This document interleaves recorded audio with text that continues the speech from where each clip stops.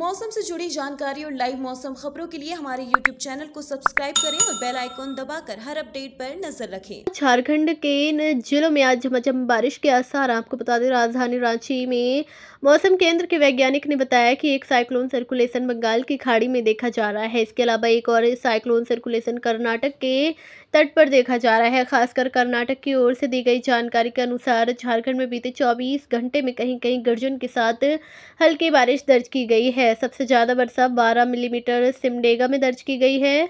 वहीं सरायकेला व सबसे कम तापमान 18.9 डिग्री रांची में दर्ज किया गया है। शुक्रवार के मौसम की बात करें तो राज्य के अधिकतर जिलों में हल्के मध्यम दर्जे की बारिश देखी जाएगी। बबरसपात को लेकर भी सचेत रहने की चेतावनी दी गई है।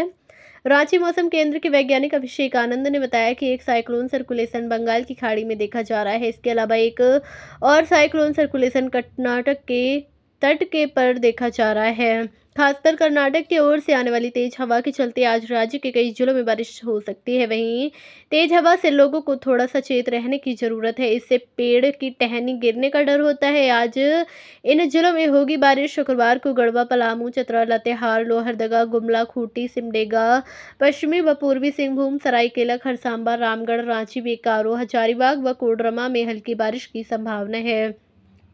इन जिलों में वज्रपात को लेकर येलो अलर्ट भी जारी किया गया है। तेज हवा 30 से 40 किलोमीटर प्रति घंटे की रफ्तार से चल सकती है और सुबह से ही सताने लगी गर्मी।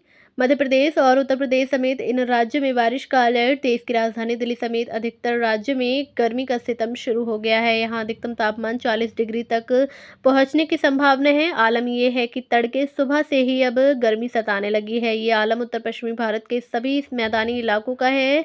हालाँकि आज एक सक्रिय पश्चिमी विक्षोभ के उत्तर पश्चिमी भारत को प्रभावित करने की संभावना है।